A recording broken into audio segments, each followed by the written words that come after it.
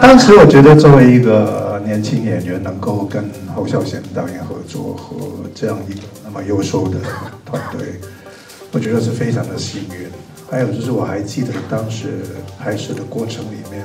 因为常常要去一些非常远的地方拍，所以很多时候我跟侯导都有机会在车上聊一些我对表演的看法。因为很多时候车程都是一两个小时，然后来回又四个小时，所以我就抓住那个机会，常常他他也很他是很有耐耐心在车上听我讲，然后就常常笑着，然后点头说嗯对对对，好像我说什么他都说对对对对。我觉得拍这个电影的过程里面，除了呃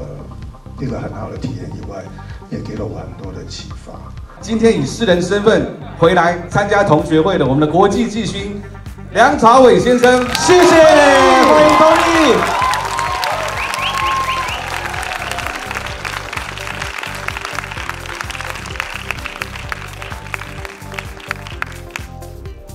来，Tony，哎，占个 C 位吧，哎，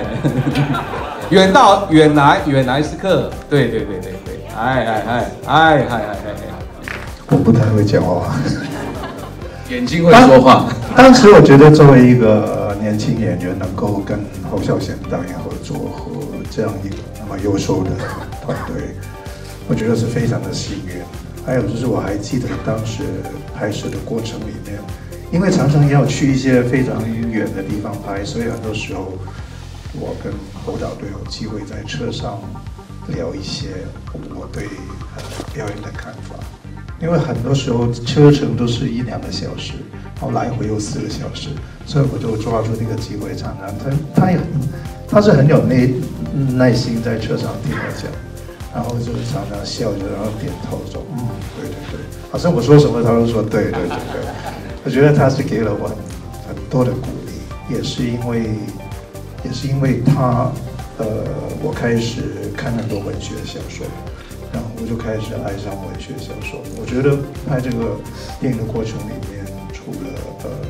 一个很好的体验以外，也给了我很多的启发。然后呃，希望呃未来呃新生代的观众或是电影迷会有更多的机会，可以在大屏幕看到侯孝贤导演的作品。